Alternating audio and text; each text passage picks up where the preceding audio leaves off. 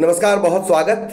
आखिरकार चुनाव तारीखों का ऐलान हो गया। जम्मू कश्मीर और हरियाणा में चुनावी शेड्यूल सामने आ गया है। उम्मीद तो महाराष्ट्र और झारखंड को लेकर भी थी, लेकिन बहुत सारे सवाल टाल दिए गए।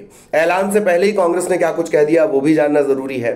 लेकिन उससे पहले शेड्यूल की बात कर लें, चुनाव की बात कर लें। जम्मू कश्मीर में तीन चरणों में अठारह सितंबर 25 सितंबर और 1 अक्टूबर को मतदान होगा।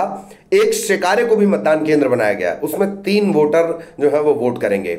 एक और दिलचस्प बात है कि सिर्फ़ 90 सीटों पर चुनाव होने, लेकिन विधानसभा सीटों के लिहाज से सीटें हैं 114 हरियाणा में एक अक्टूबर को मतदान होगा।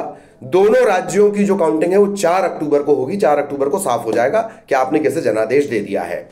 जम्मू कश्मीर बेहद महत्वपूर्ण है, परिसीमन के बाद नब्बे विधानसभा सीटें हैं, इस बार तीन सीटें बढ़ाई गई हैं। पिछले बार सत्यासी सीटों पर चुनाव हुए थे। मज़ेदार बात तो यह भी जान लीजिए कि पाक अधिकृत कश्मीर की 24 सीटों को भी हमेशा रिकॉर्ड में रखा जाता है, भले ही वहाँ चुनाव हो ना हो। वापस आते हैं। जम्मू कश्मीर में 2014 के बाद से अब तक चुनाव नहीं हुए हैं। 2019 में आर्टिकल 370 हटने के बाद यहाँ राष्ट्रपति शासन था। केंद्र शासित प्रदेश बनने के बाद यहाँ एलजी प्रशासक थे। विधानसभा चुनाव को लेकर चुनाव आयोग की टीम ने आठ और नौ अगस्त को जम्मू कश्मीर और तकरीबन 12-13 अगस्त को हरियाणा का दौरा किया था। जम्मू कश्मीर के चुनाव किसी इतिहास से कम नहीं होंगे। 370 हटने के बाद हो रही ये चुनाव इतिहास के पन्नों में दर्ज होंगे।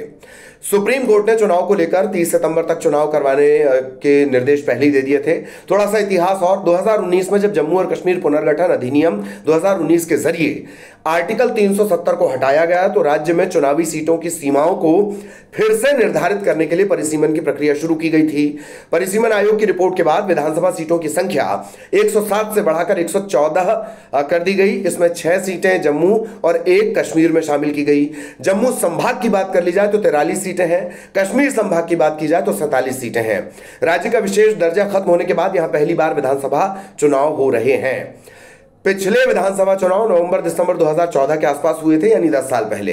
पहली बार बीजेपी सत्ता की हिस्सेदार भी बनी थी, पीडीपी के साथ मिलकर सरकार भी बनी, लेकिन महबूबा मुफ्ती से ये जो दोस्ती थी, वो ज़्यादा चल नहीं पाई। अब वापस चुनाव तारीखों पर आते हैं। एक अहम सवाल ये भी बना हुआ है कि पिछले करीब सड़सठ दिनों में लगातार यहाँ आतंकी हमले हुए हैं। अट्ठारह जवान शहीद हुए हैं। इससे लेकर सियासत भी हो रही है, सवाल भी उठ रहे हैं। हरियाणा का छोटा सा इंट्रो जान लीजिए। हरियाणा में सिर्फ़ एक चरण में वोटिंग होनी, एक अक्टूबर को और यहाँ पर वोटिंग हो जाएगी, चार तारीख को नतीजे आ जाएँगे। एक को मंगलवार है, चार को शुक्रवार है। खैर हरियाणा का चुनाव इस वजह से भी अहम होगा क्योंकि यहाँ बड़ी राजनीतिक उथल पुथल रही है। लोकसभा चुनाव के आफ्टर इफ़ेक्ट के तौर पर इसे देखा जाएगा। फ़िलहाल यहाँ भाजपा की सरकार है, इसका कार्यकाल तीन नवंबर 2024 को खत्म हो रहा है। 2019 में एनडीए को यहाँ बहुमत मिला मनोहर लाल खट्टर। उन्हें ज़िम्मेदारी दी गई थी बतौर मुख्यमंत्री, लेकिन लोकसभा चुनाव में लड़ने के लिए राज्य के मुख्यमंत्री पद से उन्हें हटाकर नायब सिंह सैनी को नया सीएम बनाया गया था। हरियाणा विधानसभा नब्बे सदस्यीय है, बहुमत का आंकड़ा छियालीस है। यहाँ पे तकरीबन दो करोड़ वोटर हैं और उसमें साढ़े चार लाख ऐसे होंगे जो पहली बार मतदान करेंगे। और जैसे मैं बार बार कह रहा हूँ कि काफ़ी दिलचस्प ये चुनाव होगा। सत्तारूढ़ भाजपा, कांग्रेस, दोनों अपनी तरफ़ से चुनाव की पूरी तैयारियाँ कर रहे हैं, दावे कर रहे हैं। और कांग्रेस ने तो ये भी कहा कि एक होकर लड़ना है। इधर मुख्य चुनाव आयुक्त ने बताया कि हरियाणा में थोड़ा बदलाव किया गया है। इस बार मल्टी हाउसिंग सोसाइटी में भी पोलिंग स्टेशन बनाए जाएँगे। अब जरा उम्मीदों की बात कर ली जाए। उम्मीद मतलब कयास लगाए जा रहे थे कि झारखंड और महाराष्ट्र, यहाँ पर भी चुनाव की तारीखों का ऐलान हो जाएगा, लेकिन ऐसा हुआ नहीं। क्योंकि दोनों जगह सरकार का जो कार्यकाल है, वो लगभग खत्म होने वाला है। महाराष्ट्र की राजनीति में तो खैर बड़ी उथल पुथल के भी आसार हैं। यकीन जानिए, सियासत में रिश्ते और रिश्तों की सियासत, यहाँ पर बड़ा खेला होने वाला है। कयास ये भी थे कि उत्तर प्रदेश, मध्य प्रदेश, छत्तीसगढ़, कई हाई प्रोफ़ाइल सीटें यहाँ पर हैं। इन पर बाई इलेक्शन होने ये भी नहीं हुई। जैसे बुधनी एक सीट है। जो शिवराज सिंह चौहान साहब की हुआ करती थी एक रायपुर की एक विधानसभा सीट है, खैर, वापस आते हैं। कांग्रेस की तरफ़ से इस ऐलान से पहले ही निशाना साध दिया गया। पवन खेड़ा ने बाकायदा एक प्रेस कॉन्फ्रेंस करी और इस तरह से उन्होंने सवाल पूछा कि चार राज्यों में एक साथ चुनाव हो नहीं पा रहे हैं। लेकिन वन नेशन, वन इलेक्शन की बात कही जा रही है।